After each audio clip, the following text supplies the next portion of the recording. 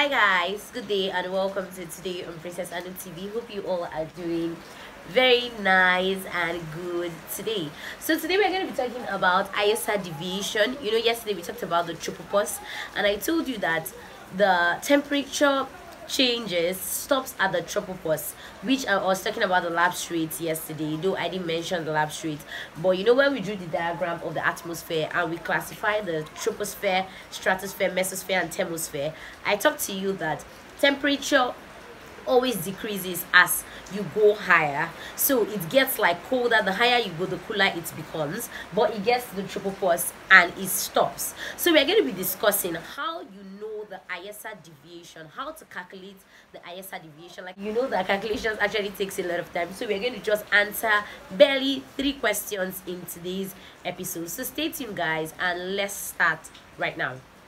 But guys before we start i'm going to be explaining some things to you that we are going to use to solve this particular equation. If you can look on your screen the table you can see just on your screen is the equation or the table we are going to be solving. So i'm just picking number one number two number three. So the one of height 1500 and 17000 500 feet and 24,000 that's the one 24,000 feet. Those are the ones we're going to be solving today. But I'll also like to explain some things with this uh, diagram. Like we discussed uh, yesterday the troposphere and stratosphere those are the uh, major ones we're going to be looking at today. At this the height from uh from the height from where the earth starts till the troposphere till the uh, tropopause correction it's about 11 kilometers. So you have like 0 to 11 kilometers. And from here to about where the stratosphere stops is about 50 kilometers and from this point that the uh, tropopause starts you have a lapse rate. That's temperature changes is about 1.98 degrees celsius per 1000 feet. So for every 1000 feet you have a change in temperature of about 1.98 degrees celsius. So guys we should always note for every 1000 feet as you go higher the temperature actually changes in one 1.98 degrees celsius. But for calculation reasons we don't use 1.98 we actually use 2 degrees celsius per 1000 feet they made it like that in aviation to make calculations a little bit more easier. And now this is where you're going to be seeing the kind of calculations we actually do. When people ask is math actually important? Math is so so important. Though you don't do we don't do like extreme mathematics but actually math is something you cannot do without in aviation. And so another thing you should notice that mean sea level temperature is 15 degrees celsius because this is what we're going to be using to actually solve the questions. If you don't know all these facts that's this 1.98 degrees celsius per 1000 feet and you don't know that the mean sea level temperature is 15 this ISR that's international standard atmosphere that is what is being tamed. The lapse rate is 1.98 and the mean sea level temperature ISR international standard uh, uh, atmosphere is 15 degrees celsius mean sea level temperature. So we're going to be using these major things to actually solve these questions that we have here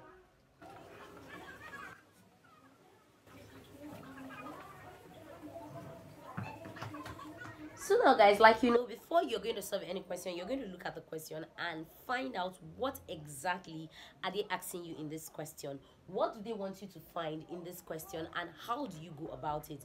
For every question there's always a formula. And so we are going to get out a formula to solve these three questions. And after getting out the formula to solve these three questions we are now going to take it step by step so that you can understand it very very well. Now the first one is find or calculate just look at the screen and see the question. Calculate the ISA deviation. So they've given us the height in feet and they've given us the temperature in degrees celsius. You know temperature is not just only in degrees celsius. You have it in kelvin you have it in fahrenheit. So it's not just in degrees but this one they gave us specifically in degrees celsius. So we don't have to start converting to anything. You know don't go and do over syllables that's what i'm trying to say. So uh guys let's move over. Firstly we have to get out the formula for ISA deviation. So what's the formula for ISA deviation? The formula for IASA deviation this is how we're going to write it is equal to actual temperature minus IASA temperature. The formula is looking very very simple but I promise you that if you don't put your head down you can miss it. So now they've given us what are the two things they've given us? They've given us height in feet. Now you're going to look at it. Where am I going to put this?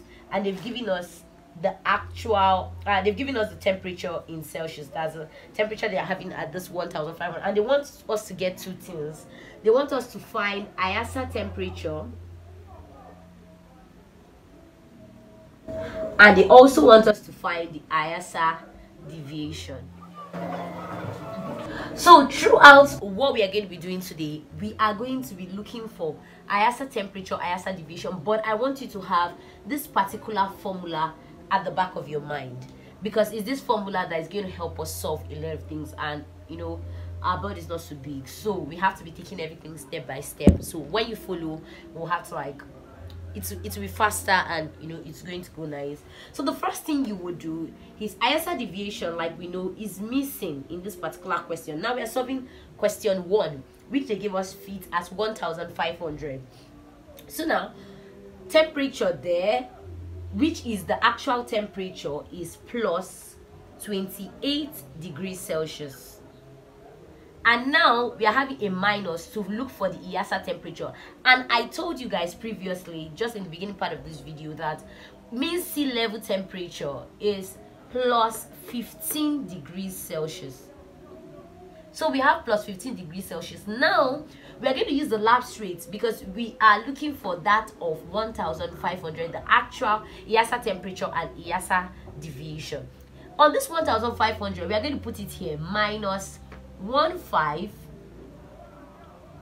times 2 divided by 1000 this is the lapse rate that we talked about. 1500 times 2 divided by 1 5 the lapse rate for every 1000 feet you go up you lose an approximate of 2 degrees celsius per 1000 feet. So i'm sure you're getting it. So this now plus 28 degrees celsius minus we have plus here 15 minus if we do 15,000 uh, 1,500 correction times 2 which is going to give us 3,000 divided by 1000 so just cross out the three zeros.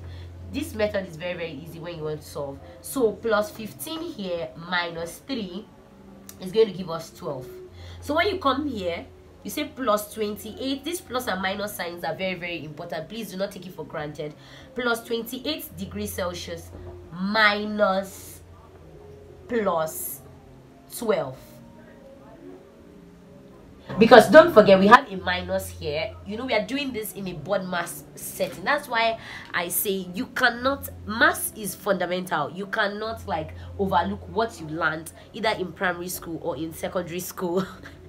And expect that when you come to flight school you're going to perform magic. It's a step-by-step -step process and if you really want to understand it in-depthly you need to be able to follow all these steps. Don't forget we are still in number one question.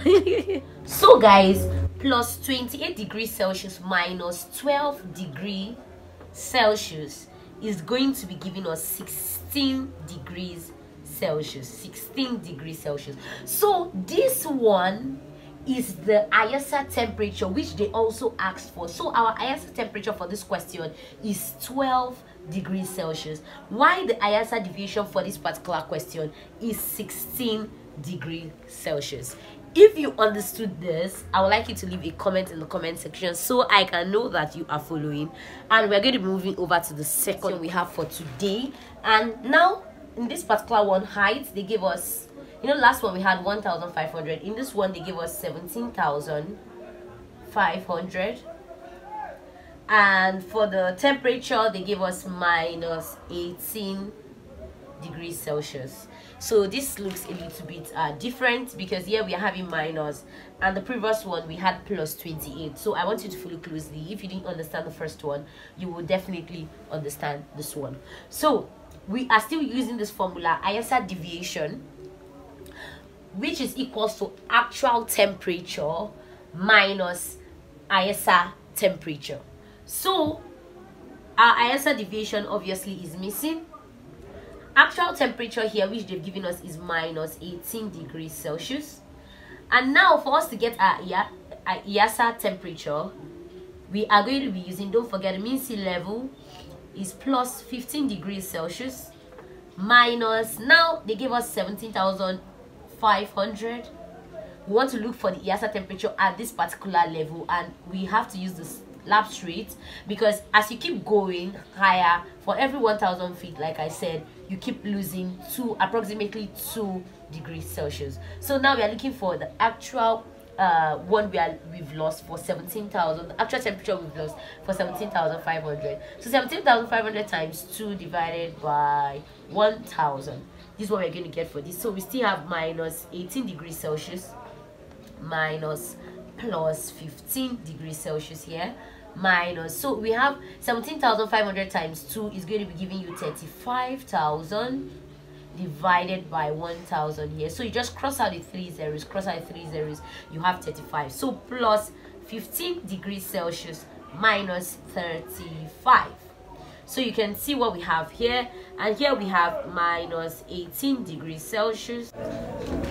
Minus 20 minus don't forget this is minus minus because we are having plus 15 degrees celsius minus 35 degrees celsius. So a, a lower number is minusing a higher number which already has a minus sign. So you're having minus minus 20 degrees celsius. So now minus 18 degrees celsius minus minus is going to give you plus. Don't forget that. So we have minus 18 degrees celsius plus 20 degrees celsius. Now you're going to be having what are we going to be having here we are going to be having 2 degrees celsius. So now if we check it out ISA temperature that we had here is minus 20 degrees celsius while the while the ISA deviation that we have here is 2 degrees celsius. Not a minus but a plus this time around. Not a minus but a plus. So this one i'm sure you've understood it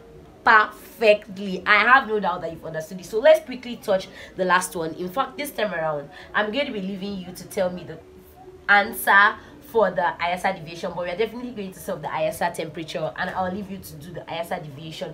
You're going to complete it out so that I will be sure that you actually follow. So let's move over to the third question. So guys, this is the last question we have for today and here the height we have is 20,000 feet and we have temperature at minus 35 degrees celsius. So if we look at it clearly don't forget the formula is still ISA deviation equals to actual temperature minus ISA temperature. And now they're asking us to look for ISA temperature and ISA deviation. So it seems like they're asking us to look for this and this but it's quite simple because we've done it before. Now let's move over. The first thing we are going to put ISA deviation obviously is missing so it's going to have a question mark. And now the actual temperature is minus 35 degrees celsius. And now we are going to be having a minus here. Don't forget there's a minus sign. And the standard mean sea level temperature is plus 15 degrees celsius.